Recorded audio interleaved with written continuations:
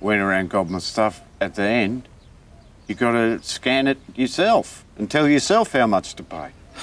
The only time you should use one of them scanners yourself is when you run your head across it to see if you've got a government chip.